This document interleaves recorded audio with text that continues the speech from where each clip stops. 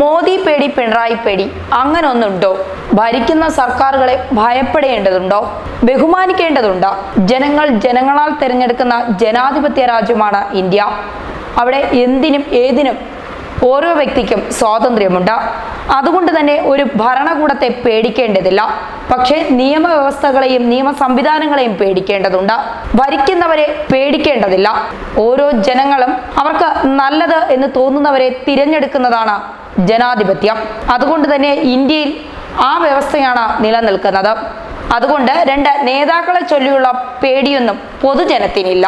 മോദി പേടി പോലെ പിണറായി പേടിയും കേരളത്തിൽ എൽ ഡി എഫിന്റെ പരാജയത്തിന് കാരണമായെന്ന പ്രതിപക്ഷവാദം നിരാകരിച്ച മുഖ്യമന്ത്രി പിണറായി വിജയനാണ് രംഗത്തെത്തിയിരിക്കുന്നത്. യോഗി ആദിത്യനാഥ് ജയിലിൽ അടച്ചതുപോലെ ഇവിടെ മാധ്യമപ്രവർത്തകർക്കെതിരെ നടപടി എടുക്കാത്തതാണ് പേടിയുടെ അന്തരീക്ഷമില്ലാത്തതിന് തെളിവെന്നതിൽ മുഖ്യമന്ത്രി ചൂണ്ടിക്കാട്ടിയത്. നിയമസഭയിലെ ധനാഭ്യർത്ഥന ചർച്ചയിൽ കെ സി ജോസഫാണ് പിണറായി പേടിയെ ഇടതുപക്ഷത്തിന്റെ പരാജയ കാരണമാണെന്ന് അഭിപ്രായപ്പെട്ടത്. ഈ തിരഞ്ഞെടുപ്പിൽ ഇടതുപക്ഷത്തിന് തിരിച്ചടി നേരിട്ടത് വാസ്തവമാണ്. ഇത് താൽക്കാലികമാണ്. യഥാർത്ഥ വസ്തുതകൾ ജനം തിരിച്ചറിഞ്ഞിട്ടുണ്ട്. മാറി വോട്ട് ചെയ്തവർക്ക് ഞങ്ങൾ തെറ്റിദ്ധരിക്കപ്പെട്ടു എന്ന് മനസ്സിലായിട്ടുണ്ട്.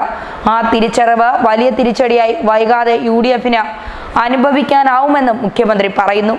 ബംഗാളിൽ കമ്മ്യൂണിസ്റ്റ് ഭരണത്തിൽ മതസൗഹാർദ്ദം നിലനിന്നു. അവിടെ വർഗീയ ധ്രുവീകരണം ഉണ്ടാക്കി നേട്ടം കൊയ്യാനുള്ള ബി ജെ പിയുടെ ശ്രമത്തെ പിന്തുണയ്ക്കുകയാണ് തൃണമൂൽ കോൺഗ്രസും ചെയ്തത്.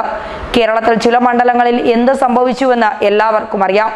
തങ്ങളുടെ വോട്ട് മറിഞ്ഞുപോയെന്ന ചില ബി ജെ പി സ്ഥാനാർത്ഥികൾ തന്നെ വിലപിക്കുന്നത് കേട്ടു. ബംഗാളിലെ തിരഞ്ഞെടുപ്പ് പ്രചരണത്തിന് പോകാതെ ഇന്ത്യയിലെ ഏക സി പി എം മുഖ്യമന്ത്രിയായ പിണറായി വിജയൻ സുഖവാസത്തിന് വിദേശത്ത് പോയെന്ന് കെ സി ജോസഫ് ആരോപിച്ചു.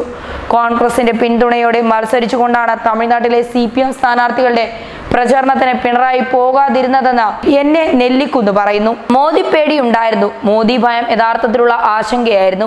പിണറായി പേടി പരാജയ കാരണമെന്നത് പുതിയ വാദമാണ്.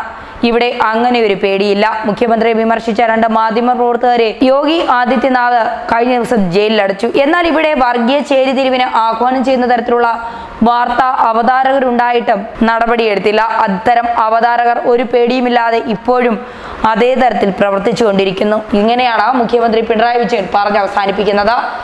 എന്തായാലും കടക്ക് പുറത്ത് മാറി നിൽക്കുക. ഇതൊക്കെ ജയിലിൽ അടയ്ക്കുന്നതിനും തുല്യം തന്നെയാണ് മുഖ്യ.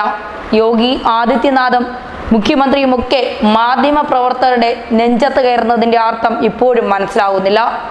വാർത്തകൾ ജനങ്ങൾ സത്യസന്ധമായി എത്തിക്കുന്നവരാണ് എപ്പോഴും മാധ്യമ പ്രവർത്തകർ. ഒരു പരിധിവരെ എല്ലാ മാധ്യമ പ്രവർത്തകർ അത് ചെയ്യുന്നുമുണ്ട്.